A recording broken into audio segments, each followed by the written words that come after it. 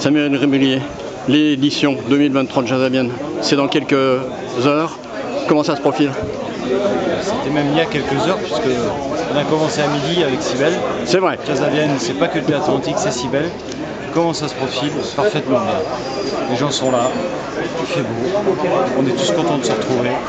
Et euh, voilà, ça part sous, sous les meilleurs auspices. Pour vous qui avez des responsabilités à Diane Condry Aglo, le jazz à Vienne, bien sûr, ça participe du rayonnement de l'agglomération et de la ville. Oui, évidemment, euh, l'événement en tant que tel, et puis euh, de plus en plus, puisqu'on essaye d'être présent dans la ville, par tout moyen, des concerts, des déambulations, mais aussi des installations dans les villes. On accroche des trucs euh, sur l'espace public pour rendre, à- pour rendre Vienne un peu, un peu festif pendant cette période. On nous dit 100 000 personnes en, en 15 jours? On- Vienne, c'est plus de 200 000 personnes en 15 jours. On verra euh, ce que dira cette édition. Mais en tout cas, sur la billetterie du Théâtre Antique, qui est la seule scène payante, on part sur une, euh, sur une bonne édition.